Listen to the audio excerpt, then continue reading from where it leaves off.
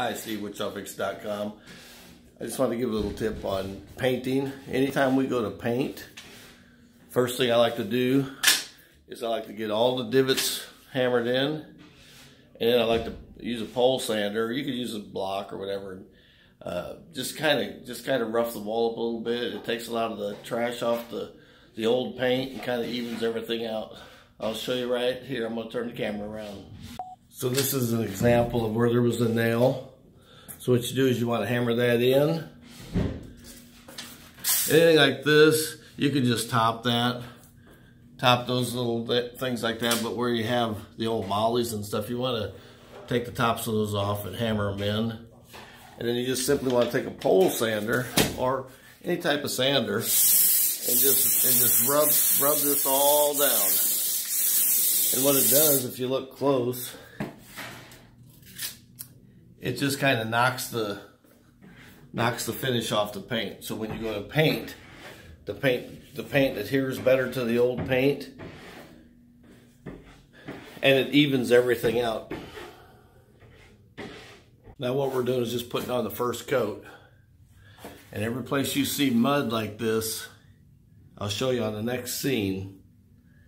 Every place you see mud, when you look at the paint a different direction, it's called flashing and you'll be able to see that mud through the paint. Anytime you put mud on the wall, you need to put at least two coats paint on. Just wanted to show a quick little video on when I paint, your, your best, best opportunity is to put the paint on the dry part of the wall and then work back into the wall that already has paint on it. And then that, that way, as you're moving along the wall, you come back and it evens out what, you, what you're putting on the wall.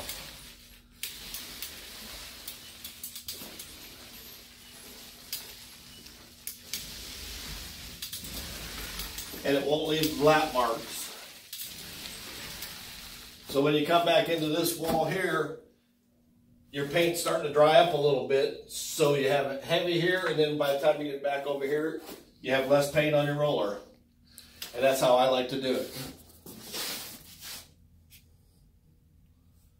And this is what I was talking about flashing, how it looks real dull.